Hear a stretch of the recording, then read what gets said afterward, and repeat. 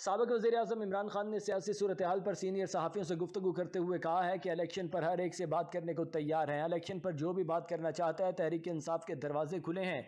इमरान खान ने कहा कि जिनको मुसलत कर दिया गया है, डर है कि वो मुल्क का क्या हल कर देंगे। मुझे अपनी नहीं, मुल्क की फ़िक्र है। आज आवाम जिन मुश्किल से दो चार हैं, उनके लिए आवाज़ बुलंद कर रहा हूँ। उन्होंने कहा कि मैं अपनी फ़ौज को कभी कमज़ोर नहीं देख सकता। आर्मी चीफ की तकर्री कभी भी मेरा इशू नहीं रहा। सरहदों पर ड्यूटी देने वाले जवान मेरे बच्चों की तरह हैं। इमरान खान ने कहा कि मीशत और मुल्क के बहरान का बेहतर हल नए इलेक्शन है।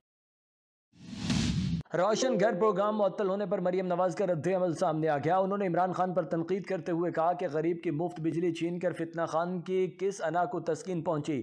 नादारों के लिए रिलीफ को घटिया सियासत की भीड़ चढ़ा दिया। मरीम ने कहा कि पंजाब की आवाम से नवाला छीन कर किस मुँह से इनसे वोट मांग रही हो?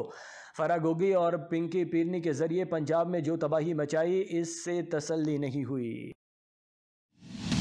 National electric and power regulatory authority ने बिजली की फ़ी यूनिट कीमत में सात रुपये नब्बे पैसे इजाफे की मंजूरी दे दी। नेपरा की जानब से जारी अलामिया में कहा गया है कि मई के फ्यूल चार्जेस एडजस्टमेंट कीमत में सात रुपये नब्बे पैसे फ़ी यूनिट इजाफे की मंजूरी दी गई।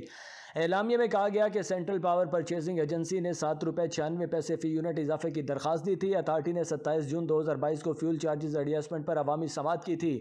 नेपरा के अलामिया के मुताबिक अप्रैल का एफ़ सी ए सार्फिन से तीन रुपये निन्यानवे पैसे चार्ज किया गया था, जबकि मई का फ्यूल चार्जेस एडजस्टमेंट अप्रैल की नस्बत तीन रुपये इक्यानवे पैसे है, जो जुलाई में ज़्यादा चार्ज होगा। स्टेट बैंक ने मॉनेटरी पॉलिसी का ऐलान कर दिया। स्टेट बैंक ने शराय सूद पंद्रह फ़ीसद कर दी। स्टेट बैंक के कायम मकाम गवर्नर मुर्तज़ा सैयद ने मॉनेटरी पॉलिसी का ऐलान करते हुए बताया कि शराय सूद में एक अशारिया दो पाँच बेसिस पॉइंट्स बढ़ा रहे हैं।